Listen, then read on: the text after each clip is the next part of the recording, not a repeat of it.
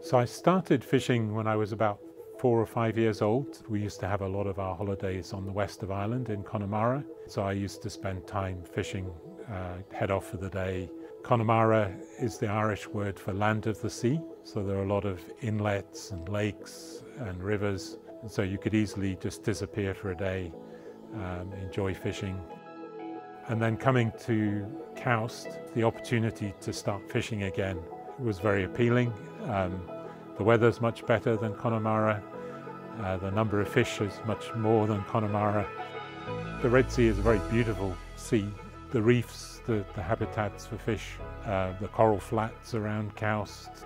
There are a lot of different environments to go fishing. Uh, the number of species that you can catch is huge. I think I've caught about 30 different species in the three years that I've been in KAUST. There are a lot of new species that have yet to be found in the Red Sea, and there are, there are many species that we've encountered along the way that are new and undescribed. And one of our initial jobs was actually a, a major biodiversity project to try to catalog what, um, what different types of organisms are living, especially on the coral reefs where we have very high biodiversity in the first place. When you go fishing, you, you're interested in understanding what it is that you catch. There are a number of fish that are well known. And then there's the new fish, and the new fish, it's similar to sea bream, but it has enough differences that I was thinking, hmm, doesn't quite look the same, doesn't quite have the same features, has a few distinctive features that, that make it possibly a different fish.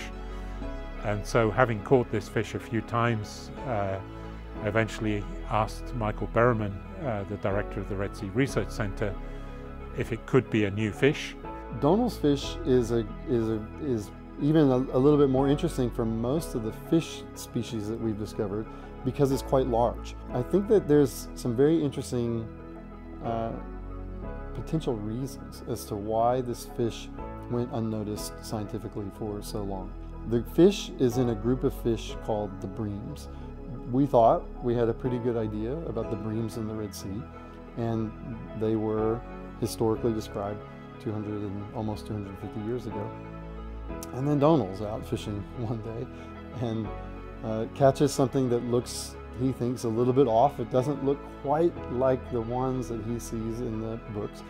And he sent a message and said, What is this thing? This doesn't look quite right.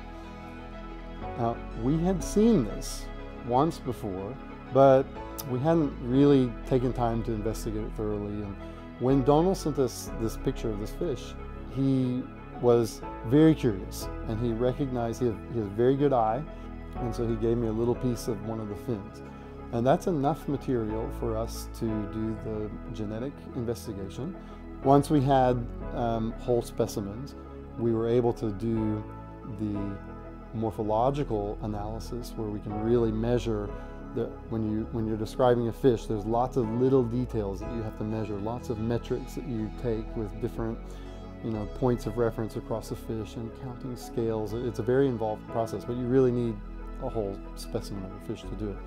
Once we had the whole specimen of the fish, and we did that analysis and compared those data to the other the common species of bream, it was very clear that this didn't match, and we had a, a, a, very strong case for a new species on our hands. It's a little bit surprising to find a new species of sea bream. So this is not a, a small fish, it's about a 30 centimeter long fish. Um, so it's you know a decent sized fish, it's, it's a good fish to eat. Last September was my mother's 90th birthday. What do you get somebody for their 90th birthday? And in this case, um, what I was able to do was to name the fish after my mother for her 90th birthday. So it's called Acanthopagrus oconnorae. And then, of course, it's also named after my wife. So the common name for the fish is Bev Bradley's bream, which is a bit of a mouthful to say. I think it's important because it tells us there's still a lot that has not been discovered in the Red Sea. You know, there are many things about the Red Sea that we don't know. And if we don't even know, you know, a fish this size, then there must be a lot of other things that still remain to be discovered and identified. And so, you know, that's uh, a great uh, concept that, you know, there's much more to be done. There are many new things to be found. There are many new species to be discovered.